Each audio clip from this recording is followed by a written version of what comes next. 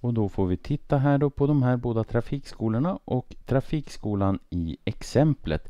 Det är ju då i boken, det inledande första exemplet. Så om vi går tillbaks och tittar på det så ser vi då att trafikskolan där kostar 3500 kronor i en fast avgift och 700 kronor per lektion. Och konkurrenten här kostar 4500 kronor och 550 kronor per lektion. Då. Och jag ska pröva mig fram här för att hitta korrekt svar på den här.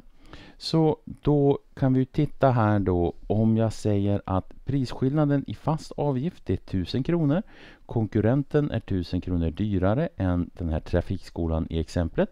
Men däremot så är den 150 kronor billigare per körlektion. Så jag ser här att om x är 10 så kommer den här att bli billigare än den. Men jag kan prova här x lika med 10 och se hur mycket det här blir och hur mycket det här blir. Jag har 3500 plus 700 gånger 10 som är lika med då, vad blir det här? Jo, det blir 3500 adderat med 7000. Det blir 10 500 kronor här. Och i det här exemplet så blir det då 4500 plus 550 multiplicerat med 10. 550 multiplicerat med 10 som är då 4500 multiplicerat med 550 gånger 10. Det är 5500. Så 4500 plus 5500 det är 10 000 kronor. Så vi ser här. Okej, okay. om jag har 10 lektioner så är den här konkurrerande skolan billigare än den här andra. Så det jag får göra då det är att jag minskar det här xet. Jag minskar det till 8. Och så sen så tittar vi igen. 3500 adderat med 700 multiplicerat med 8. Lika med, och nu håller natten på att vara sen så nu ska jag ta och räkna det här. 3500 adderat med 700 gånger 8. Och då får jag 9100. 9100 kronor. Göra samma sak här. 4500 adderat med 550 multiplicerat med 8 lika med.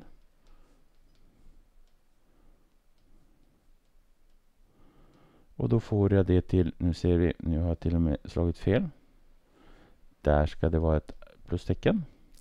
Så då blir det 8900. Den här skolan är fortfarande billigare än den. Vi provar med sex lektioner. Så vi säger x lika med 6. 3500 plus 700 gånger 6 är lika med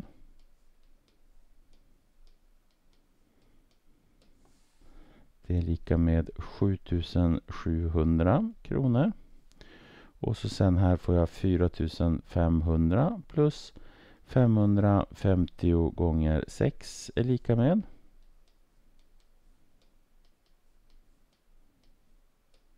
Då får jag den till 7800 kronor. Okej, okay, nu ser jag att någonting har hänt. När jag hade åtta lektioner så var den här konkurrerande skolan billigare. När jag har sex lektioner så är den här äh, trafikskolan i exemplet billigare.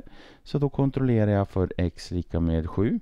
3500 plus 700 gånger 7. Så ser vi vad det blir.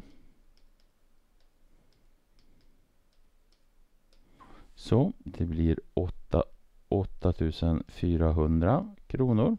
Så gör jag samma här. 4500 plus plus 550 gånger 7.